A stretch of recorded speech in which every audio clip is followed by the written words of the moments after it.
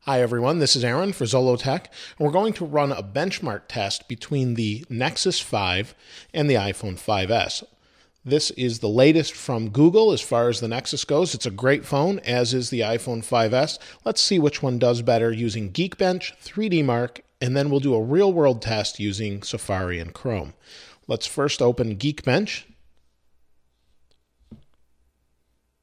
Now I've just booted these phones, so nothing's running. You can see here, no recent apps, no recent apps on either phone. And we'll open Geekbench. So you can see we have the Nexus 5 running Android 4.4. We also have a Qualcomm 2.27 quad core with 2 gigabytes of RAM. We have an iPhone 5S running iOS 7.0.3, 1.29 gigahertz A7 processor dual core with 1 gig of RAM. So run the benchmarks.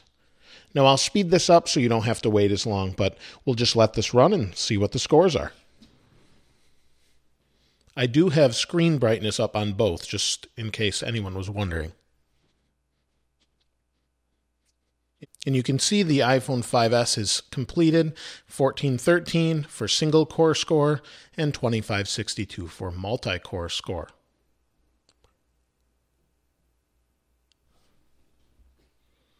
It's almost done on the Nexus 5.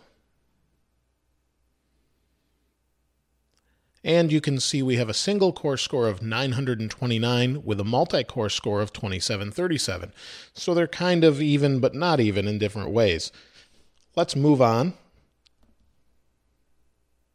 We'll close that out, close this out, and we'll move on to 3D Mark.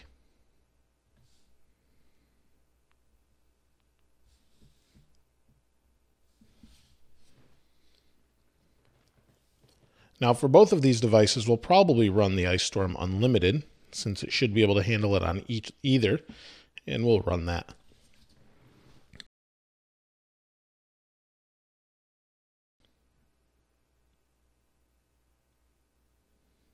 Again, I'll speed this up to save us some time.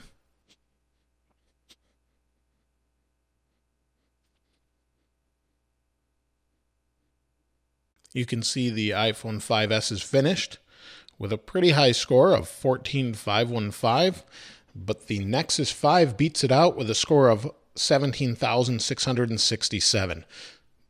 Both pretty impressive benchmarks. You can see here's the different details. I won't read them to you, but you can look over them here briefly. And you can see OS version 4.4 on this one.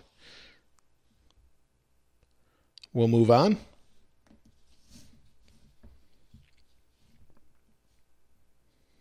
I will open Safari and Chrome. Now they're both on the same Wi-Fi network. Should be pretty similar anyway. The signals are about the same. So you can see they loaded pretty quickly. Different scrolling effect, but both pretty fast. Let's go to the LifeProof case and just open another link.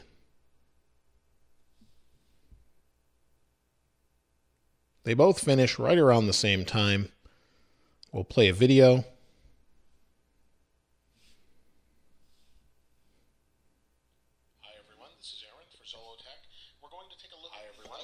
So you can see it runs much faster on the Nexus.